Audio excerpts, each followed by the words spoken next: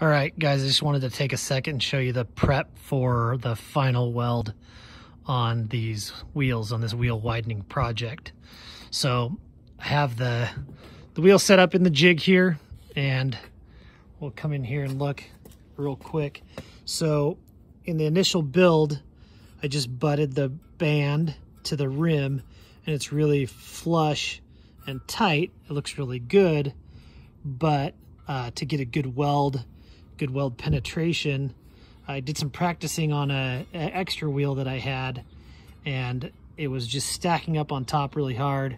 I wasn't super confident in the penetration. I, I think it would have worked well.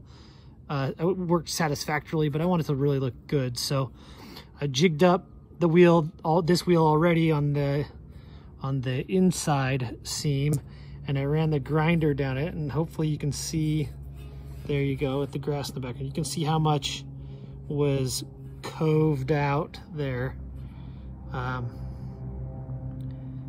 by the grinder. And so I'll, I'll be, I'm set up to do it on this spot here now, or on this seam. And what I'll do is I'll, I'll grind between the, the tack welds to create this trough.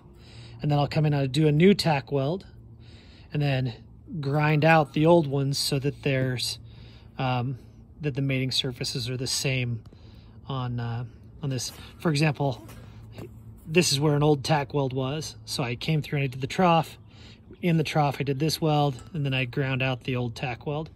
So when I uh, shoot the video for the final weld, it'll just be burning along here in this nice trough. When I get to one of these, it's already a full penetration weld and I can just roll over it and keep going. So that's a close-up of the inside of this sucker. Um, or the outside of the sucker. Anyway, the inside, super good seam right now, but it's still a seam.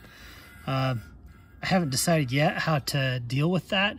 I think probably I'm going to braze it and just try to flow in kind of like flux or solder on a pipe, fill that, fill that void and then sand it smooth before powder coating. But I, I need to phone a friend, get a little professional help on that first.